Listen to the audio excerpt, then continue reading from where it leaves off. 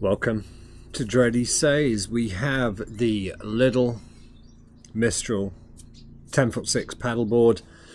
It's been a bit of a weird review in a really good way. So I was out on my good friend's boat and I was like, right, we need to test it. So how are we going to test it? We've already done the unboxing, check that out. And we tested it on the water. I did the usual run and jump on it business, as you can see now. So I ran and jumped on it, paddled it around a little bit. We checked it out as a kayak as well with the kayak seat and the paddle. A little bit of footage for you now, and this was this was the fun bit. I was like, can you pull a paddleboard behind a boat? Now we did this in a uh, water skiing area on the Norfolk Broads, and as you can see, a little bit of a spoiler, it worked. Surprisingly, I was admittedly using about two foot of the board, but yes, you can pull it behind a boat. So, without further ado, let's get into the review. I just realised that rhyme, so I'm very sorry about that.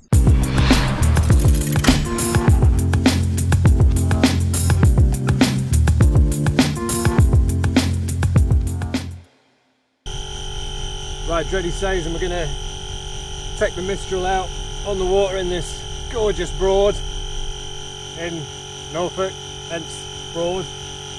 Yeah, I'm not using the pump, I'm using my air bank because uh, it's too hot for that. And yeah, hot is spelt O-A-T, hot. So, initial thoughts and impressions are incredibly good. Stitching's good, board's good. I'm only putting 14 psi in each chamber because it is a very hot day. It's 20 degrees Celsius, so you've got to give it a bit of room to expand. But gonna test it out. Rather than shouting at the camera, I'm probably just gonna leave this rolling and then um, do a bit of VO, maybe. But all in all, initial thoughts are good.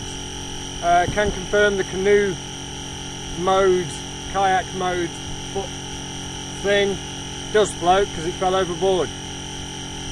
But yeah, get right back to you. It's on. Right, is it running? It is.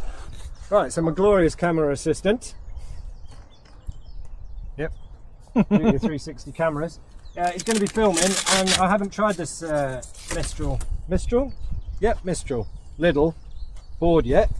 Uh, I forgot to bring my quick release belt, but we are nice and safe and secure in the Norfolk Broads. And I'm going to try a running, jumping start because it's a new board. And if I get wet, I get wet. So I need to jump this foot in the air and away we go. Got nothing on me that I don't mind losing. Good luck. Good luck, yeah. so I only get one step instead of my usual three. Jump off that leg.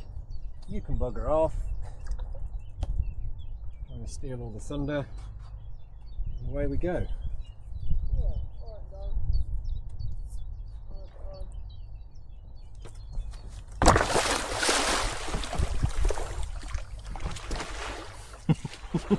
He's off into the boat graveyard.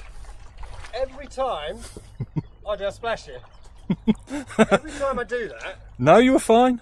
I jump and then the paddle needs to go in the water one side. I always do it the wrong side. but as we saw, for a cheap board, that did the running test. Yeah, looks looks good. Yeah, it was alright. And I wasn't sure how I was going to do with those bloody valves. But, so far, also big shout out to Pantufla for sending me these uh, barefoot shoes. They were really grippy. I stopped dead.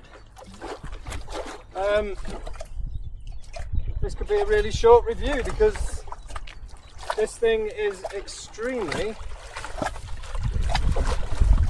stable for a cheap board. And this is what you'll be doing as well when you have your first go today.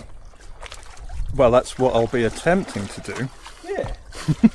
and you know we can we can get the nose out a little bit on this. The dual chamber's working well.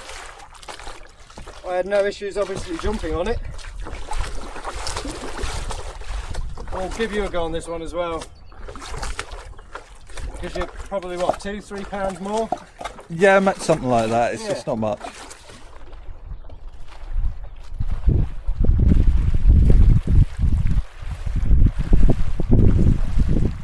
Gliding okay. Boat's rocking Oh, big waves.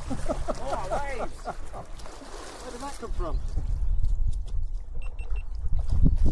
Yeah, GoPro noise. I'm in shot, I'm in shot, I'm not in shot, Yeah, you are. but I am on the Insta. You're not now. Just say no to GoPro. So not a lot to say really about the old Mistral. I'm impressed. It, the paddle isn't bad. Not bad at all.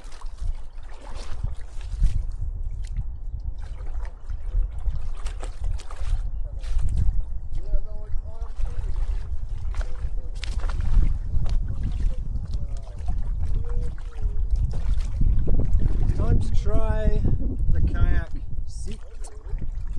I'm going to answer the question can you do it whilst it's in the water? Yeah, easy. Does the paddle float? Let's find out.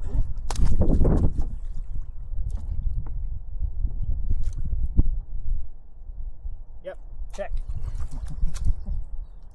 there were early paddle boards that came out where the paddles didn't float and you were literally up a creek without one. Well, yeah, if it doesn't float, it's going to be at the bottom.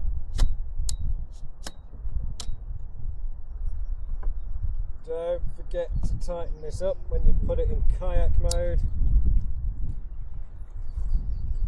Yeah, kayak. Buy a paddleboard to do kayaking. That's pretty good, actually.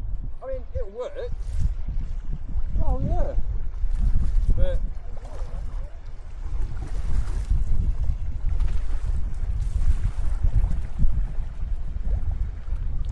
it's alright. I feel lazy. On extreme.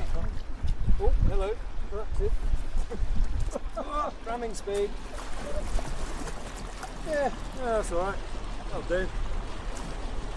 Uh, so yeah, big tick if you want to turn it into a kayak. Don't know why you would, it's a paddleboard. You're going to get absolutely drenched because the paddles putting water everywhere, but yeah, woo, kayaker. Hey, kayak. yeah, big tick. Right, running start. Right, well, I can only go a little bit quicker. No, no, leave it at this speed. Yeah?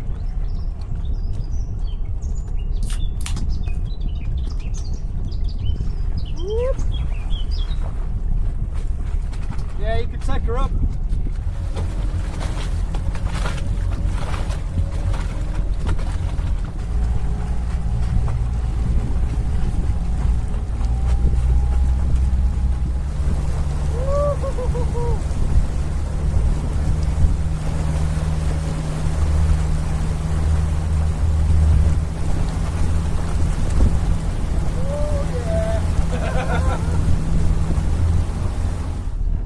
Yeah, there you go. So we've asked ourselves the question: Can you paddle? Use a paddleboard behind a boat? Can you use a 180 pound cheap Lidl board behind a boat? Yes. Do you need a proper rope with a handle? Ow, yes. Um, we've been good boys and girls because this is um, the water ski area on the Broads, and uh, I'm just going to have a nice uh, leisurely trip back now. Catch you for the next one.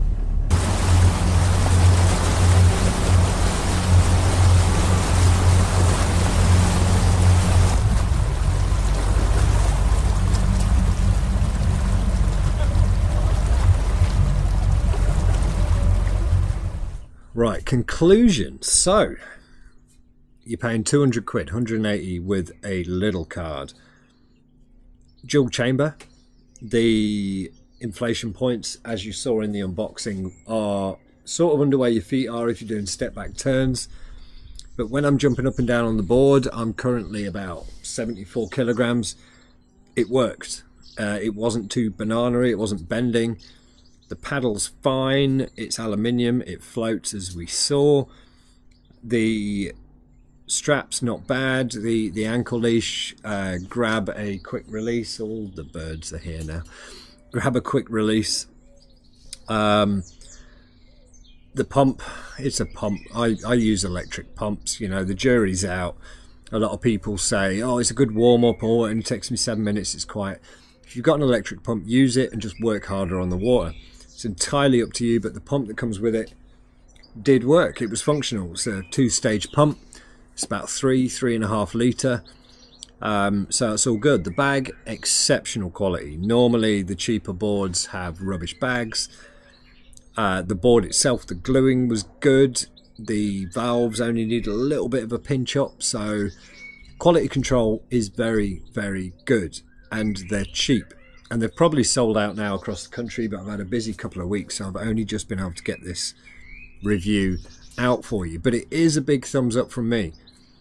For what you're paying, for what you're getting, they've been out for years now, since the boom of SUP about four years ago, and they just work. The single fin, you know, you don't get the two thruster fins on it now, but even with me out behind a boat, literally just using the center fin to steer the board, it worked absolutely fine. It's a bit of a no-brainer, to be honest with you. If you can find one, if you can pick one up, grab one.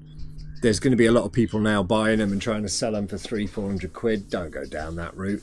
Just find a local Lidl and see if they've got them and just grab them from there. They will probably come back in later in the uh, year. I think I've seen them twice. The pumps are junk. Ignore the pumps. They don't work. Um, the wetsuits apparently are awful size fittings, but the board, big thumbs up.